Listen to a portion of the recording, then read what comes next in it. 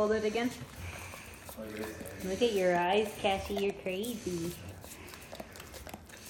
There's something like Jack Daniel Ribbies. I love Jack Daniel Ribbies.